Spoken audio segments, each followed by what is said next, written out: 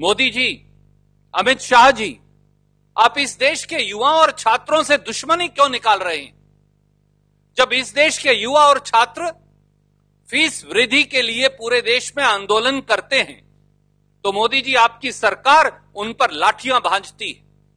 जब इस देश के छात्र संविधान बचाने के लिए संविधान बचाओ रैलियाँ निकालते हैं तो आपकी सरकार उन पर लाठियाँ भांजती है, उनको देशद्रोही कहती है। उनके ऊपर अत्याचार करती है। ये वही छात्र हैं मोदी और शाह जी, जिनको युवा, वही युवा हैं जिनको सबज बाग दिखाकर दो करोड़ रोज़गार का वायदा देकर आप सत्ता में आए थे।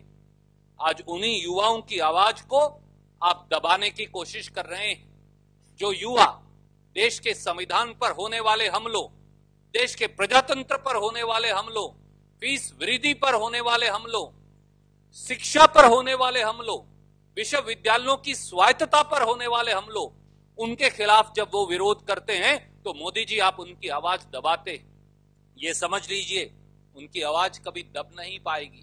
उनकी युवा और छात्रों की आवाज़ जितना दबाएँगे, वो उतना बुलंद होगी। पुलिस को पुलिस को दमन का हथियार बनाना बंद कीजिए मोदी जी और शाह जी।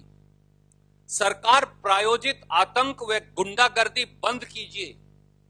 जब इस देश का युवा और छात्र खड़ा हो गया तो फिर जान लीजिए, वो सरकार, अहंकारी सरकार का सिंहासन आज डोल रहा है, इसलिए वो अत्याचार कर रही है, आप सत्ता में नहीं रह पाएँगे।